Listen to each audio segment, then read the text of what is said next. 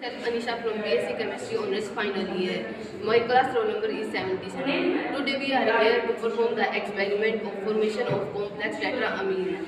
Let's start. Firstly, add copper sulfate in a beaker and add ammonia in it.